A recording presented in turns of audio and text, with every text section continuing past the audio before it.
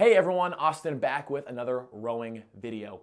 Now one of my big goals is to inform you on all the information that you need about the variety of different rowing machines that are out there because a rowing machine is a big investment, but rowing is a very rewarding exercise but when it comes to choosing a machine, it's important that you know what machine you're getting and what's gonna work best for you. And part of choosing the right rowing machine for you is understanding what you want to get out of your rowing experience. And right now I'm sitting on the Ergatta rower, which I've covered in my initial first impressions video, as well as the Ergatta versus Hydrow comparison video.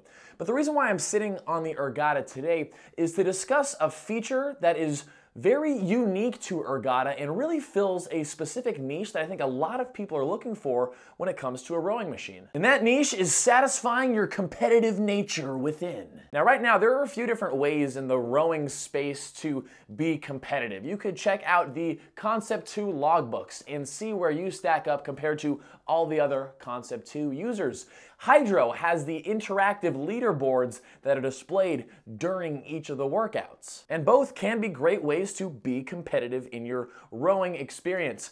But Ergatta offers something pretty freaking unique through their race workouts, where you're not just comparing yourself to the performance of others, but actually visually, interactively racing against others in specific rowing races. And in these race workouts, you literally line up with other users who have also done the same race workout and race them down the race course. In these race workouts, you can race up to eight other individuals, and those individuals can be automatically selected based off of your own performance level and who it thinks you'll be competitive with, or or you can do what I personally like to do, which is manually select the individuals that you want to race against. And if you don't want to race against anyone else, you can race against yourself if you've done that race multiple times. And what's cool is when you're doing the rowing race, it feels like it's happening live, like everyone is rowing together, even though it's just using the data based off of the previous rows from the other users. And being able to see those individuals race against you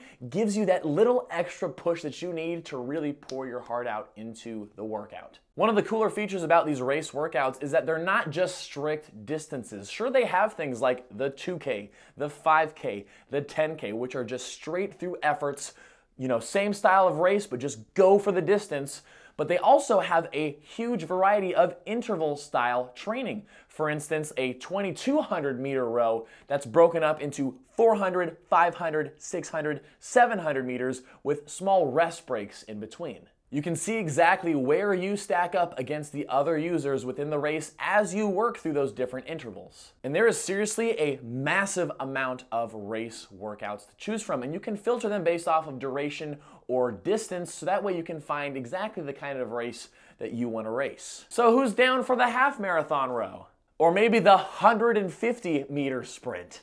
The race workouts on Ergatta seriously are an awesome way to fill that competitive desire to really push yourself and see where you stack up against others in a very dynamic and interactive way. Because sometimes you just want to hop on, row really hard, and just see where you stack up. So far, in my experience, this style of competitive racing is unique to the Ergatta platform and is something you should seriously consider if it's been kind of weighing on your pros and cons, your choice of rowers. With an ever growing collection of workouts and a new race of the week every week as well, it's a good way to keep yourself coming back and seeing where you stack up each and every week. So the race workouts on Ergatta are pretty cool, and you should know that. And so that's pretty much it for this video. I just wanted to share what that racing experience is really like and give you some more information on that so that way you have more info in your buying power, in your rower choice selection. So I hope you enjoyed the video. Do you own the Ergatta or are you thinking about it? Are you thinking about that and another rower? What's, what's on your mind? Share all of that down below if you'd like to. And be sure to subscribe to the channel if you're interested in more fitness and rowing content from me. And I will see you guys in the next video.